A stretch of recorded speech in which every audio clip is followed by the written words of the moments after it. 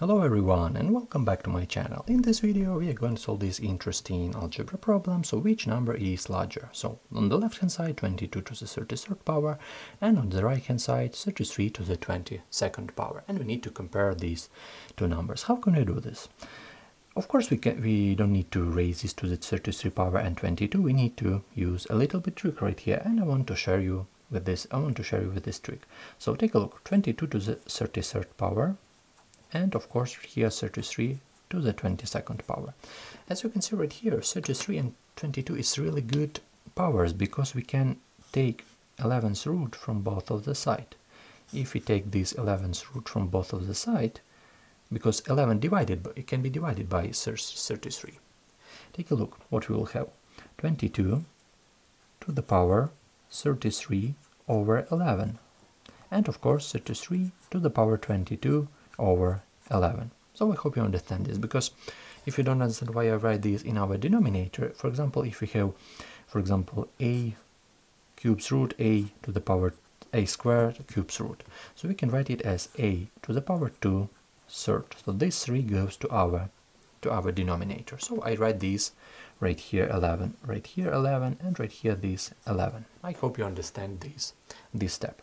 If we divide 33 by 11, we will have 3. So take a look what we will have. 22 to the third power, and on the right hand side we will have 33 square. So as you can see, after this simple step, we just get only 22 cube and 33 square. So we need to compare these, these two numbers.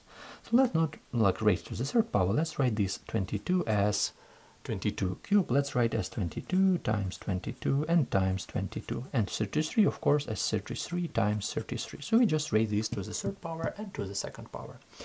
What are we going to do next? Take a look. One of these 22 is really good. One of these 22. It's really good to write as 2 times 11.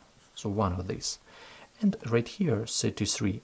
It's really good to write as 3 times 11.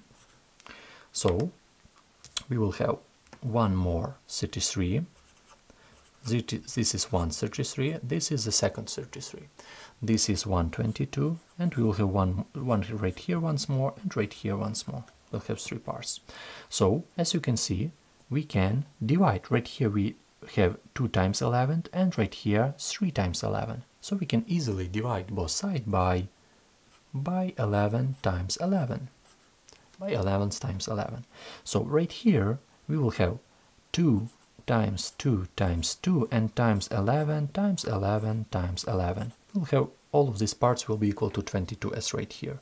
And right here we will have 3 times 3 times 11 and times 11.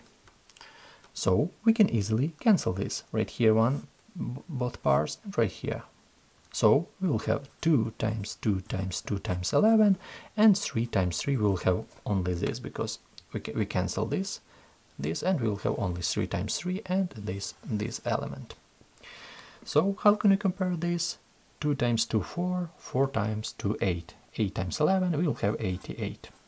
And on the left hand side, we will have 9.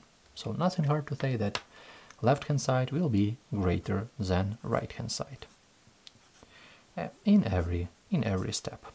So I hope you understand this explanation. Of course, right here 33, but doesn't doesn't matter. I hope you understand this. If you don't, write your question in comment, it will be really interesting to read it. And of course, if you enjoyed this video, put a thumbs up, I really appreciate it. And I do more and more math videos. So thank you so much for watching and see you in the next videos.